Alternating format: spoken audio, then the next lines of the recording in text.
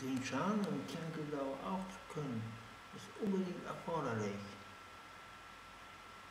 Durch den Thermos das dann so aus.